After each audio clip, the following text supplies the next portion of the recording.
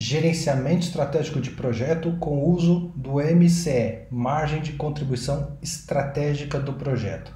Vou pegar um exemplo bastante simples aqui. Nesse exemplo básico aqui, a estratégia da empresa está focada em quatro dimensões: dimensão financeira, clientes, processos internos e as pessoas. Vamos pegar aqui a dimensão financeira. Na dimensão financeira, Existem três objetivos estratégicos. Objetivo 1, um, ampliar as vendas em 5 milhões.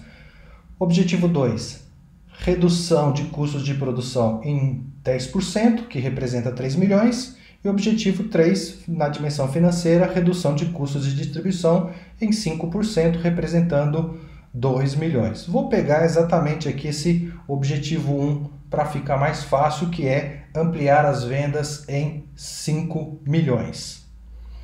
Como que a empresa pretende alcançar esse objetivo estratégico? Primeiro, através de um novo produto, a criação do produto X, que pretende aí trazer um benefício de 2 milhões. Segundo, ampliar os postos de atendimento, o que vai permitir eh, mais vendas, com mais contato com novos clientes, e representando aqui 2 milhões esperado.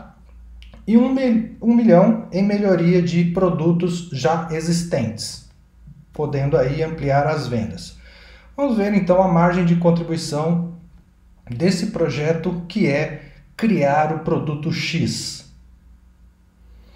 Então, para esse produto X, que tem uma expectativa de trazer 2 milhões adicionalmente em receitas, vai contribuir para o objetivo estratégico financeiro número 1, um, que é de 5 milhões. Então, a margem de contribuição estratégica deste projeto, que é criar esse produto X, seria a margem de contribuição estratégica para o objetivo estratégico de 40%, ou seja, 2 milhões em 5 milhões. Se a gente olhar o todo, na dimensão como um todo, na dimensão financeira, seria a margem de contribuição financeira de 20%, ou seja, 2 milhões que esse produto X vai trazer em relação a 10 milhões que é o total esperado da dimensão financeira. 5 milhões mais 3 milhões mais 2 milhões.